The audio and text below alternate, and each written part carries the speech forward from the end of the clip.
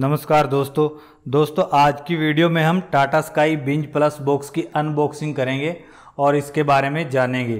तो चलिए इसी के साथ अब आज का वीडियो स्टार्ट करते हैं।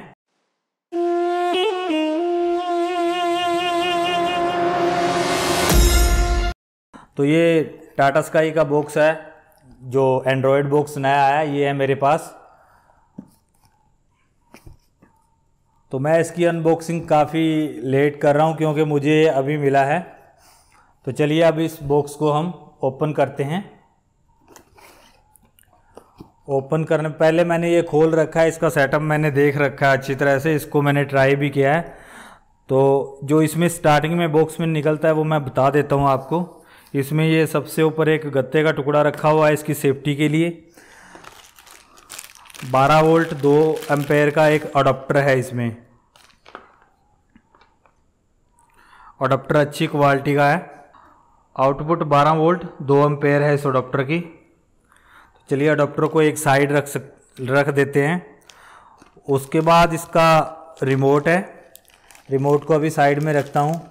उसके बाद ये टाटा स्काई का बॉक्स निकलता है इसमें से, जो कि एंड्रॉयड बॉक्स है। इसके नीचे आपको एक HDMI केबल मिल जाएगी ये। तो चलिए HDMI केबल को मैं यहाँ पे रख देता हूँ। तो अब पहले हम इसके रिमोट के बारे में बात करेंगे। तो रिमोट इसका ब्लूटूथ इनेबल्ड है। तो इसमें नुमेरिक की बैक बटन ये इसका सेटिंग्स वाला है गूगल असिस्टेंस का है ये। और ये की टीवी के लिए और ये स्टैंड बाई के लिए। तो यहाँ पे मैंने इसमें सेल डाल रखे हैं। तो कोई भी की प्रेस करने पर यहाँ से ये ब्लिंक करता है और यहाँ से ये माइक जब हम गूगल असिस्टेंस यूज़ करते हैं तो ये माइक की जो आवाज़ है वो भी यहीं से जाती है इसमें। तो दोस्तों, इसका रिमोट भी काफ़ी अच्छी क्वालिटी है ब्लूटूथ ब्लूटूथ इनेबल्ड है और ये नॉर्मल मोड में भी टाटा स्काई बॉक्स के साथ काम करता है। यूनिवर्सल रिमोट है, इसको हम एलईडी टीवी के साथ भी ऑपरेट कर सकते हैं। एलईडी टीवी के साथ पेयरिंग कैसे करना है, ये भी मैं आपको नेक्स्ट वीडियो में दिखा दूँगा। तो चलिए, ये तो हो गया रिमोट का। वॉइस इनेबल है गूगल असिस्टेंस से काम करेगा। तो अब चलिए बॉक्स के बारे में बात करते हैं हम।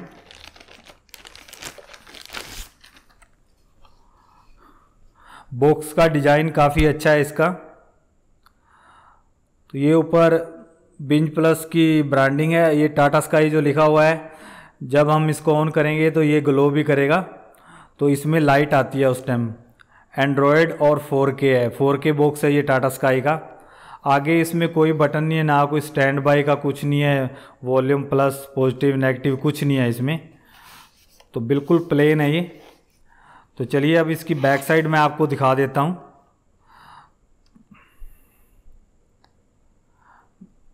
Back side dish antenna in और उसके बाद ये ऑडियो वीडियो इनका है।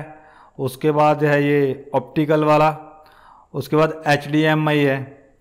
H D M I output दो यू एस बी पोर्ट हैं इसमें। उसके उसके बाद है इथरनेट केबल के लिए और लास्ट में है इसकी अडाप्टर लगाने की जो पिन होती है। अडाप्टर अडाप्टर जैक है इसमें। तो चलिए दोस्तों, अब इसका हम इंटरफेस देख लेते हैं, ये कैसा है। तो चलिए अब मैं इसको टीवी पे लगा देता हूँ। इसकी होम की में जाने के बाद चलिए अब इसका बेंच प्लस बॉक्स का इंटरफेस देख लेते हैं। होम में हमारे ऑन नाउ है जो प्रोग्राम्स और उसमें रिकमेंडेड ऐप्स शोकेस वगैरह सब आएँगे।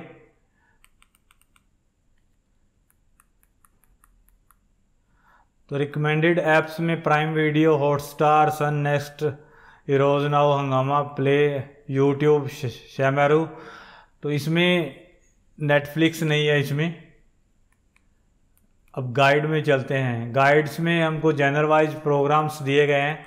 इसे हम प्रोग्राम्स में मूव कर सकते हैं अपने हिसाब से। उसके बाद बिंज तो बेंज में जाने के बाद जो इसकी ऑनलाइन मूवीज़ वगैरह है न्यू रिलीज़ ओरिजिनल्स ये सब दिया गया है ये ये सब ऑनलाइन कंटेंट है। इसमें movies TV shows kids regionals हैं न्यूज़ हैं। तो ये सब दिया गया है। उसके बाद चलते हैं ऐप्स पर। ऐप्स में इसमें प्राइम वीडियो, डिजनी, हॉटस्टार, ये सब दिए गए हैं, पर इसमें नेटफ्लिक्स नहीं है। इसमें हम किसी नेक्स्ट वीडियो में नेटफ्लिक्स भी करके देखेंगे, होता है कि नहीं है इसमें इंस्टॉल। तो चलिए अब फिर से बैक चलते हैं। तो इसमें इसमें मैं बता दूँ, ये एंड्रॉयड नाइन बॉक्स है।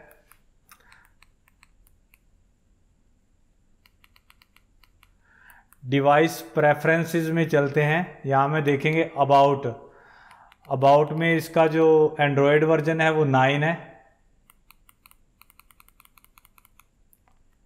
एंड्रॉयड नाइन फाइव है।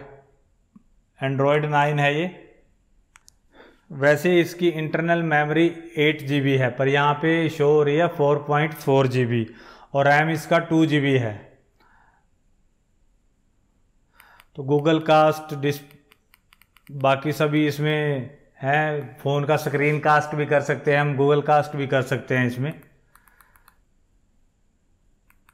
गूगल कास्ट का ऑप्शंस भी है इसमें और गूगल असिस्टेंस असिस्टेंट भी है इसमें। ब्लूटूथ कनेक्टिविटी है इसकी रिमोट के साथ।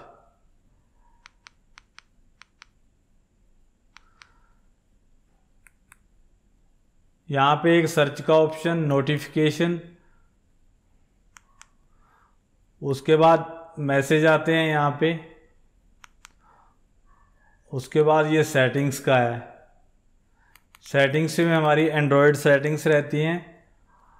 और उसके आगे जो है, ये इसमें हमारी बॉक्स की सेटिंग्स रहती हैं। जैसे parental control user setting system setting और माई अकाउंट तो दोस्तों, आज की वीडियो में बस इतना ही था, जो कि हमारी वीडियो थी टाटा स्काई बिंज प्लस के बारे में। तो नेक्स्ट वीडियो में हम इसका फ़र्स्ट इंस्टॉलेशन करेंगे। तो दोस्तों, आज की वीडियो में इतना ही था। वीडियो को पूरा देखने के लिए धन्यवाद। प्लीज़ चैनल को सब्सक्राइब कर लेना। नेक्स्ट वीडियो में फिर मिलते हैं।